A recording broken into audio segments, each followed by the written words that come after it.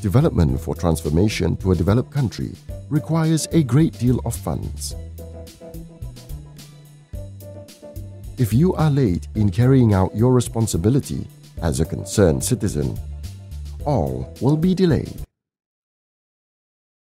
Do not hold back the country's development.